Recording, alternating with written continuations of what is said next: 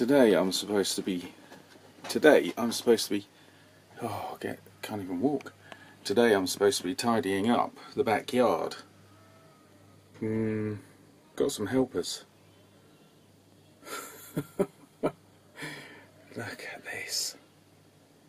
I spilt I was uh, taking out some of the um, hay and sawdust from the guinea pig uh, world and I spilt some at the gate. The bag, the bin bag, got caught on the gate and the little devils love playing in it.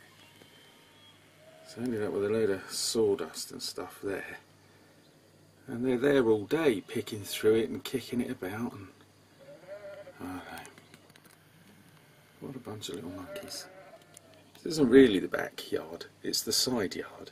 And everything's gone to chaos out here before this lot turned up. But here we go. Just another morning. No wonder that wall's falling apart. Here comes daycare. Come on, Mum, get them sorted. They all know if they bash up against that gate, the gate will open. And they do it regularly. And they come in because they get fresh grass and plants. Ooh, nasty reflection. Come on, focus. Here we go. There go the daffodils. I'm not going to stop them though. They're having fun and it cuts down on the gardening. It Makes a lot of tidying up though, then they knock everything all over the show, but look at that. That's a good view.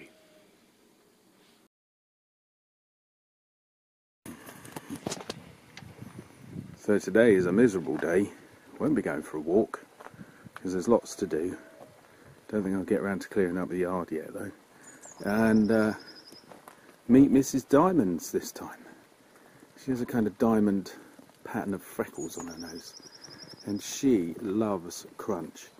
She is the daughter of a lamb that we brought up unintentionally. She was a little orphan and she knew how to escape through the fences and she'd come to our door and knock on the door for guinea pig crunch. And then years later she would bring her lambs to this gate to get guinea pig crunch. When they get a little bit older than this one they start to enjoy guinea pig crunch too. So here we are with one of the daughters of Charlie Chutney. That was the little lamb's name.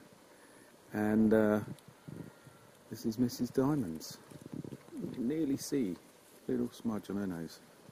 And she's frantic for guinea pig crunch. And here's the other little sausage. Ooh, shouldn't say that. Here's the other little cutie, number 33. Both of them.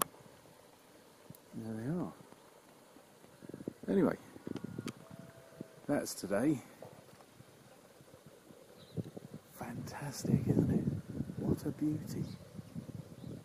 After yesterday was so gorgeous.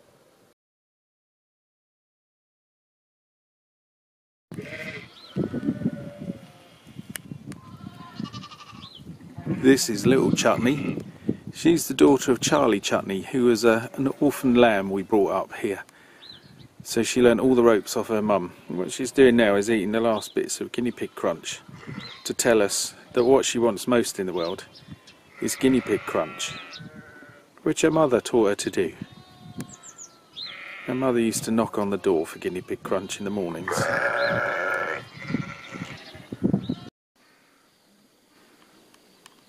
It's dawn, and uh, it was just after dawn, and there's a little snail hoovering up the seed that I put out yesterday for the birds, the last bits and pieces. He's out there munching it all. Well done, mate.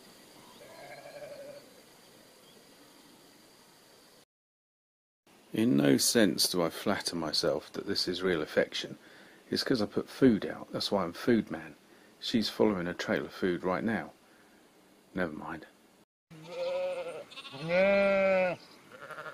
She'll follow me about until she gets a little bit of something or other to eat. Seed, guinea pig crunch. Mm, not keen on bread. Little bit of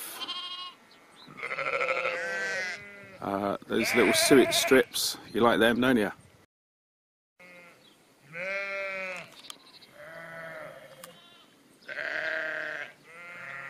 And now somebody's telling me that I've got to come in. Enough's enough. Come on then, Tiddles.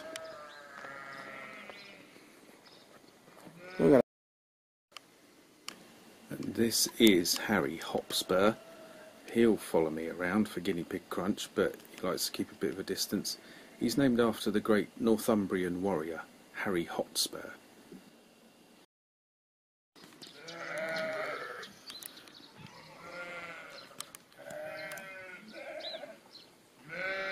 And here we have the queen of the castle.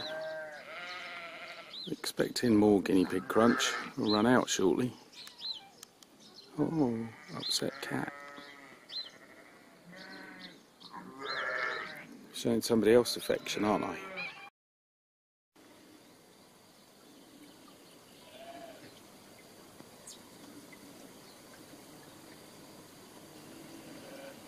Somebody's grumpy.